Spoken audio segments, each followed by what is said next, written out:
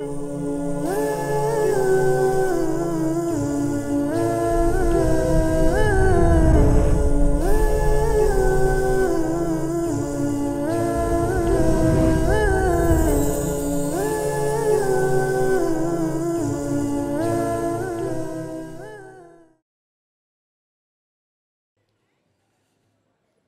عليكم ورحمة الله وبركاته. ما شاء الله تبارك الله. May I ask you to stand up, all of you, inshallah? May Allah bless you, all of you. Jazakumullah khair. Can you please stretch your muscles? Yes, go on. Inshallah ta'ala, properly. And say salam to the person next to you. Properly, yeah? The other side. Take it further and say, I love you for the sake of Allah. Make sure the person next to you of the same gender. May Allah bless you and reward you. The Nabi Sallallahu Alaihi Wasallam said, O people, feed the needy, spread salam, and pray at night while people are asleep, and tie the bonds of kinship, you will enter Jannah with the greatest of ease. May Allah bless you and Jazakumullah khair. Barakallah fikum. بسم الله الرحمن الرحيم الحمد لله رب العالمين اللهم لك الحمد حتى ترضى لك الحمد إذا رضيت لك الحمد بعد الرضا اللهم لك الحمد كله وإليك يرجع الأمر كله علانيته وسره لا يهزم جندك ولا يخلف وعدك اللهم صل على محمد All praise you to Allah alone we praise him thank him seek his guidance and his forgiveness we repent to him we seek refuge in Allah from the evil of our souls and our sinful deeds whoever Allah guides none can mislead and whoever Allah misleads none can guide. Allah subhanahu wa ta'ala, the Almighty, revealed the Quran and made it the main source of guidance, the main source of direction, the main source of alignment. And Allah Ta'ala told us that in every matter, in every confusion, this Quran will guide you towards the straightest path. Not the straight path, but the straightest path. The most just and the most right path. إن هذا القرآن يهدي للتي هي أقوم. Indeed, this book guides towards that which is the straightest. ويبشر المؤمنين الذين يعملون الصالحات and gives glad tidings for the believing people who are doing good deeds أن لهم أجرا كبيرا that they will have a great reward from Allah subhanahu wa ta'ala the Almighty and the purpose why Allah ta'ala revealed it is for us to reflect on it for us to ponder on it not just to read it or recite it or or just memorize it but to reflect on it ponder on it and benefit from its reminders كتاب أنزلناه إليك مبارك This book which we have revealed to you of O Muhammad is full of blessings. What is the reason of revealing it? ليدبروا آياته وليتذكر أولو الألباب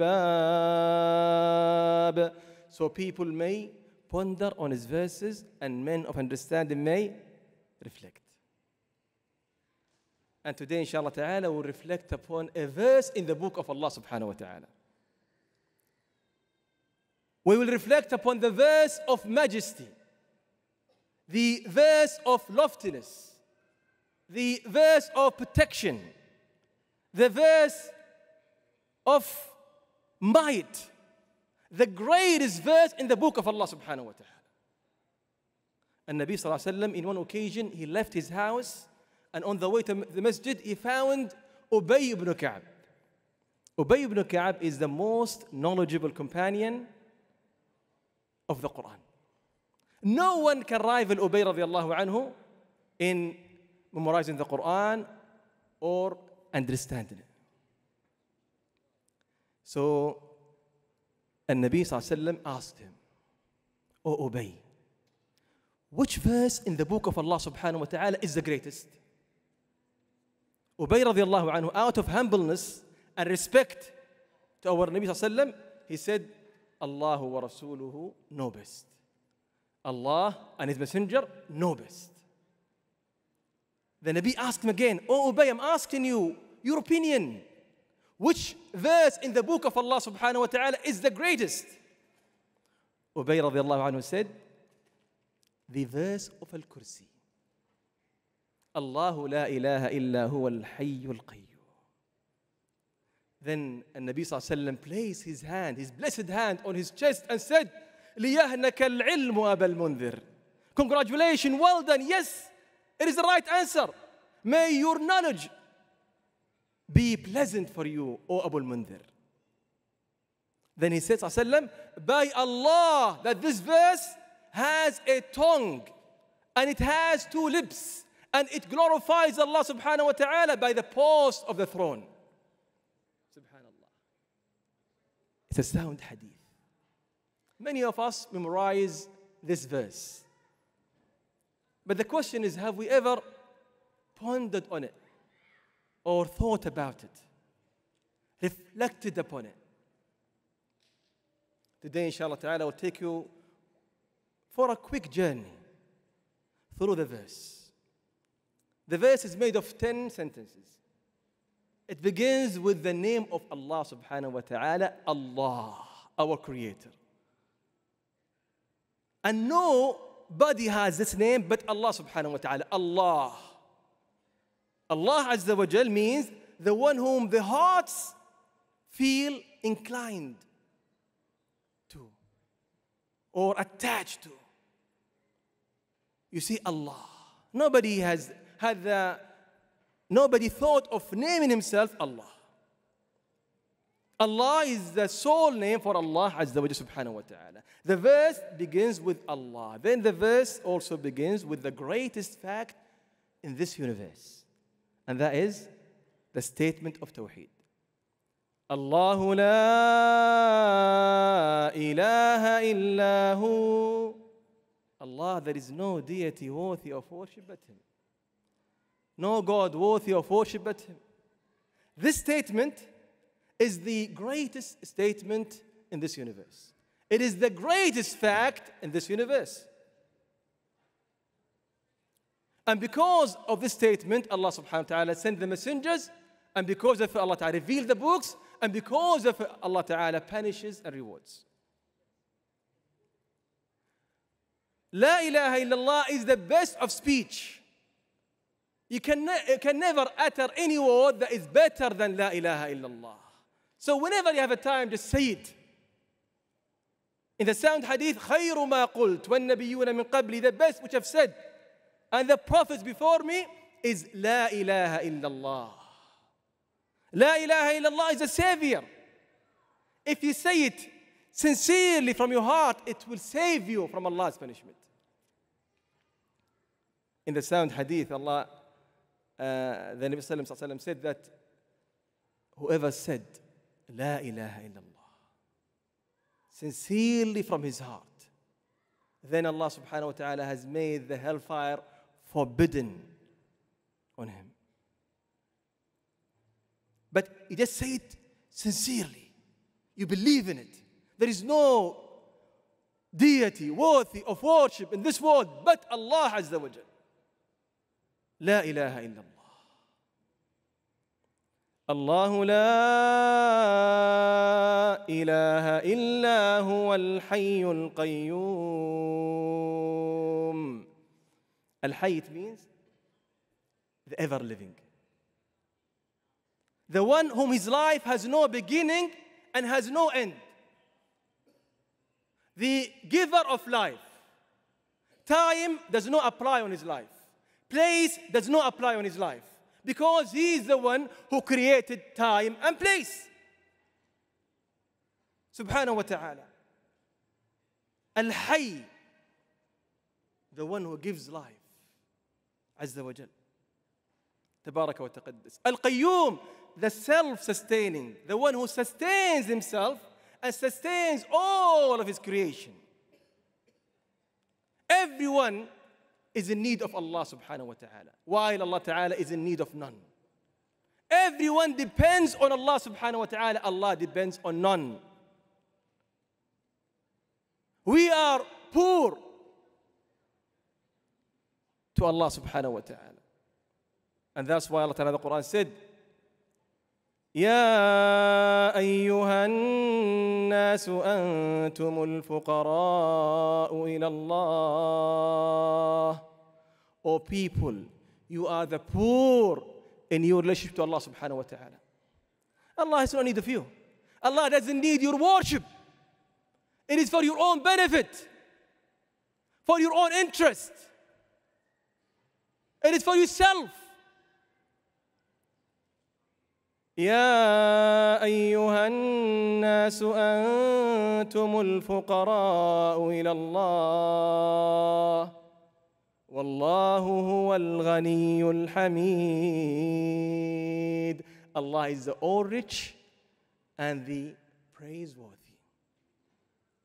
إن يشأ يذهبكم ويأتي بخلق جديد. If Allah wants, He can wipe you out. He can annihilate you. And He can bring another people. وما ذلك على الله بعزيز And this matter is not difficult upon Allah subhanahu wa ta'ala. It's very easy. Subhanallah. Once you understand who is your Lord, who is your creator, then once you stab, once you stand in worshiping him, you will worship him as he subhanahu wa ta'ala prescribed. As he subhanahu wa ta'ala wants from you.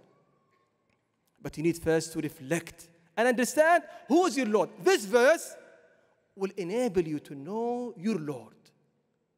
Will, this verse will help you to know the attributes and the traits of your Creator Azza wa Jal.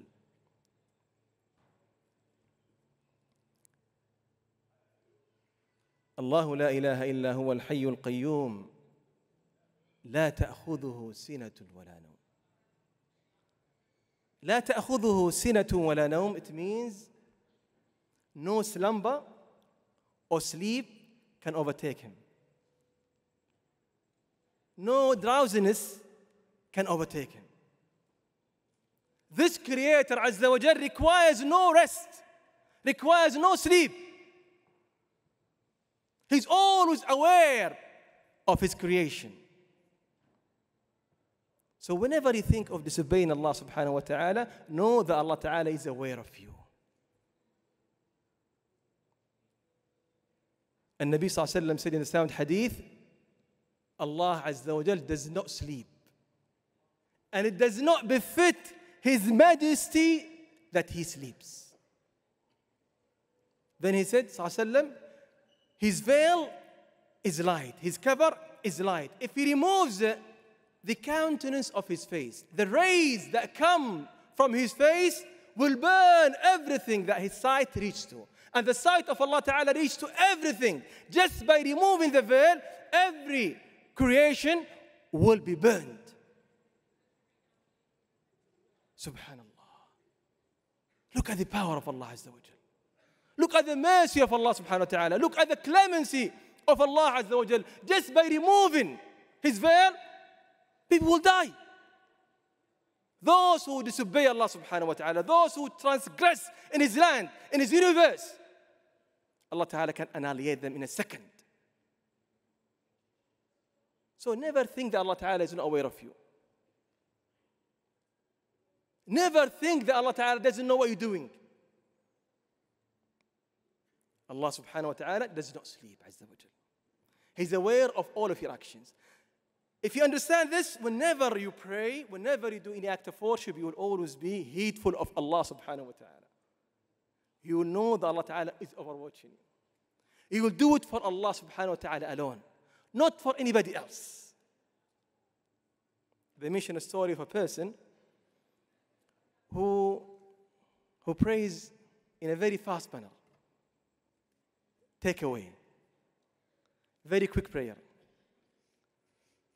And this guy, he came to the masjid and he found the Imam and he felt shy. The Imam is there.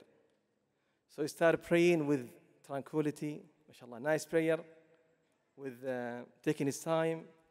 Allahu Akbar. Slowly, mashallah. Going to ruku' slowly. Imam is watching, mashallah, what a nice prayer. Allahu Akbar. The man finished the salah, came to the Imam. Imam said, mashallah, you have a nice prayer, mashallah, tabarakallah. Quiet, mashallah ta'ala, and you have tranquility in salah. Said, Imam, by the way, I'm also fasting. Subhanallah. Look, when you don't have the intention to please Allah subhanahu wa ta'ala, the Almighty, so all what you care about is how to please people. But if he thinks about Allah subhanahu wa ta'ala, he will always pray same standard at home and when he's in front of, of people. So Allah Ta'ala said, لا تأخذه سنة ولا نوم and reflect on this it's very important it's very amazing له ما في السماوات وما في الأرض to Allah belongs everything in the heaven and everything on the earth everything in the heaven whether it's small or large high or low seen or unseen belongs to Allah subhanahu wa ta'ala Everything belongs to Allah subhanahu wa ta'ala. This universe, with all of its atoms, galaxies, heavens, earth, oceans, mountains, everything belongs to Allah subhanahu wa ta'ala, the Almighty. Even yourself, you belong to Allah Azza wa Jal. You are one of Allah's properties. Allah owns us, Azza wa. We belong to Allah, the. And that's why, Yawm al-Qiyamah, we will stand before Allah subhanahu wa ta'ala alone as slaves. Once you acknowledge this, once you understand this, you will worship Allah subhanahu wa ta'ala the way He subhanahu wa ta'ala prescribed. You will worship Allah ta'ala with a present heart. إن كل من في السماوات والأرض إلا آتي الرحمن عبدا Everyone in the heaven and everyone on earth will meet Allah subhanahu wa ta'ala as a slave, as a servant. لقد أحصاهم وعدهم عدا Can anyone escape? Can anyone run away? Anybody? Allah Ta'ala said, لقد أحصاهم وعدهم عدا Allah Ta'ala has counted them with full counting. He knows every one of them. وكلهم آتيه يوم القيامة فردا and every one of them will meet Allah subhanahu wa ta'ala alone without a defender, without a helper, without a protector, nobody will help you. You will stand before Allah subhanahu wa ta'ala alone. So if you are a wise person, prepare for that meeting. Prepare yourself for that meeting. This verse will enable you, will help you to understand the traits and the attributes of your Lord and will help you to become a better Muslim, a better believer. But read it with reflection, read it with pondering. Allah Ta'ala said, له ما في السماوات وما في الأرض من ذا الذي يشفع عنده إلا بإذنه Who is he? Who is that person who can intercede before Allah Ta'ala, who can contend with Allah Subhanahu wa Ta'ala, who can argue with Allah Subhanahu wa Ta'ala without Allah's permission. No one, no one can even intercede, can ask a help for somebody else. Nobody can do that. Unless if Allah Ta'ala permits. Even the prophets, even the prophets. Even the angels, eh, even the angels. Nobody can do anything without Allah's permission. وكم من ملك في السماوات لا تغني شفاعتهم شيئا How many angels in the heaven their intercession is, is, is, is of no benefit until Allah subhanahu wa ta'ala permits. حتى يأذن الله لمن يشاء ويرضى until Allah Ta'ala permits and Allah Subhanahu wa Ta'ala also approves. And this is a sign of a perfect kingship of Allah Subhanahu wa Ta'ala the Almighty. Then Allah Ta'ala said, يعلم ما بين أيديهم وما خلفهم And reflect on this. Allah knows everything before them and everything behind them. Allah knows everything about you. He knows their past. He knows their present. He knows their future. And they are all within the capsule of Allah's knowledge. Allah knows everything about you. Allah knows what you saying to yourself now. قل إن تخفوا ما في صدوركم أو تبدوه whether you hide that which is inside your chest or reveal it يعلمه الله Allah knows it ويعلم ما في السماوات والأرض and he knows everything in the heaven and the earth and nobody can do anything without Allah's permission subhanahu wa ta'ala when Jibreel alayhi salam used to come to our Nabi sallam used to come to him a lot so imagine the Nabi sallam is with Jibreel alayhi salam he used to be very happy very pleased that Jibreel alayhi salam is coming from Allah subhanahu wa ta'ala to sit with him But for a while Jibreel alayhi salam disappeared then when he came back the Nabi asked him oh Jibreel ألا تزورنا أكثر ما تزورنا Can't you come more frequently I really enjoy sitting with you I want to sit down with you Can you come more frequently Look at the answer What did he say Allah Ta'ala in Surah Taha revealed the answer وما نتنزل إلا بأمر ربك O Muhammad We cannot descend We cannot come down We cannot visit you unless if Allah subhanahu wa ta'ala commands. By the order of Allah subhanahu wa ta'ala, we can come down. له ما بين أيدينا وما خلفنا He has everything before us and everything behind. وما بين ذلك and reflect on this and anything which is in between of those two meaning ourselves he owns us we are part of Allah's kingship. We belong to Allah subhanahu wa ta'ala. We cannot achieve anything unless if Allah subhanahu wa ta'ala permits. Brothers and sisters, nothing can happen in this life, in this world, in the universe of Allah subhanahu wa ta'ala unless if Allah ta'ala permits. So never feel sad. Never feel sad or never lose hope in Allah subhanahu wa ta'ala always know that nothing can happen in this world without Allah's permission.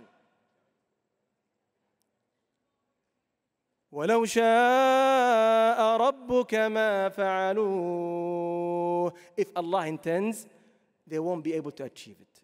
They won't do it. If you see people are transgressing, killing the believers, killing the civilian, killing the children, torturing people, bombarding them, Never lose trust in Allah subhanahu wa ta'ala. Allah can change all of this in a second. Have a strong trust in Allah subhanahu wa ta'ala. Allah ta'ala in the Quran said, لا يغرنك تقلب الذين كفروا في البلاد Don't be deceived with the success or transgression of the disbelievers on the earth. متاع قليل It is a brief comfort ثم مأواهم جهنم وبئس المهاد Then uh, their abode is the hellfire and it's the worst abode And Allah subhanahu wa ta'ala is not heedless of what is happening ولا تحسبن الله غافلا عما يعمل الظالمون don't think that Allah subhanahu wa ta'ala is heedless of what the wrongdoers are doing. إنما يؤخرهم ليوم تشخص فيه الأبصار Allah is delaying them for a day in which their vision will stare in horror, in fear. Subhanallah. Then Allah subhanahu wa ta'ala said, ولا يحيطون بشيء من علمه إلا بما شاء People cannot harbor, cannot, cannot snatch, cannot take any of Allah's knowledge without His permission. وسع كرسيه السماوات والأرض His chair extended over the heaven and the earth. And Nabi Sallam described for us the chair of Allah subhanahu wa ta'ala, saying, if you want to understand the might of Allah subhanahu wa ta'ala, the greatness of your Lord Azza wa Jal, listen to this hadith. Listen to this hadith. He said, sallallahu ما السماوات والأرض في الكرسي إلا كحلقة ملقاة في أرض فلا If you want to compare between the heaven and the earth and the chair of Allah subhanahu wa ta'ala is like a ring, a ring or a coin thrown in a wide open land. That ring and that coin is the heaven and the earth. And that wide open land is the chair of Allah subhanahu wa ta'ala. And if you want to compare between the chair of Allah subhanahu wa ta'ala and the throne of Allah subhanahu wa ta'ala is like also a ring thrown in a wide open land. And Allah subhanahu wa ta'ala is greater than all of this. And we say it in every prayer Allahu Akbar. Yes? Allah is the greatest. Allahu Akbar. We say Allahu Akbar, Allah is the greatest. We think about everything in this world except Allah. Why? Because we are not reflecting. Because our hearts are not present. We're not worshiping Allah subhanahu wa ta'ala as He has the right to be worshipped. Brothers and sisters, Allah Ta'ala at the end said, وَلَا يَؤُودُهُ حِفْظُهُمَا وَهُوَ الْعَلِيُّ الْعَظِيمُ And preserving them does not require any help for anything from Him, and He is the Most High, the Most Great.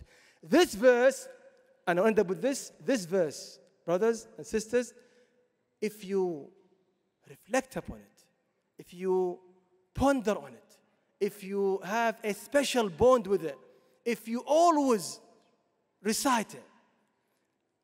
First of all, if you recite it before you go to bed, shaitan will never come to you till the morning. In the sound hadith. And Allah Ta'ala will appoint someone who will guard you till the morning. If you recite it after each prayer, after each prayer, if you recite it, nothing will prevent you from entering Jannah except death. So it's worth having with a, a special relationship. It is the greatest verse of Allah subhanahu wa ta'ala in the book, and it has the greatest name of Allah Azza wa Jal. And I will leave that to you to search for it. Search for the name of Allah subhanahu wa ta'ala, which is the greatest. The greatest name of Allah ta'ala is in this verse. And if you ask Allah ta'ala by that name, Allah ta'ala will never reject your dua. I ask Allah ta'ala to grant us to be from those who reflect upon His book, from those who recite His book, from those who ponder on His book, from those who have a connection with His book. And ask Allah Ta'ala to bestow His mercy upon us and bestow His mercy upon those who are oppressed. I ask Allah to say Ameen. And I ask Allah Ta'ala, the Almighty, to grant victory for those who are oppressed in Palestine. اللهم يا رب العالمين ارزقهم نصرا من عندك اللهم يا رب العالمين ارزقهم نصرا من عندك وقوة من عندك يا, عز يا, يا رب العالمين يا قوي يا عزيز. نسألك بأنك أنت الحي القيوم. نسألك بأنك أنت الواحد الأحد الفرد الصمد الذي لم يلد ولم يولد ولم يكن له كفوا أحد. اللهم كن لهم ولا تكن عليهم يا رب العالمين. اللهم ارحم شهداءهم وعاف مرضاهم يا رب العالمين. وارفع ما بهم من محنة وبلاء يا قوي يا عزيز. and ask Allah subhanahu wa ta'ala to bless you all and to bless you all and to grant you all success in this life and the hereafter. واخر دعوانا الحمد لله رب العالمين اللهم صل على محمد وعلى اله وصحبه اجمعين.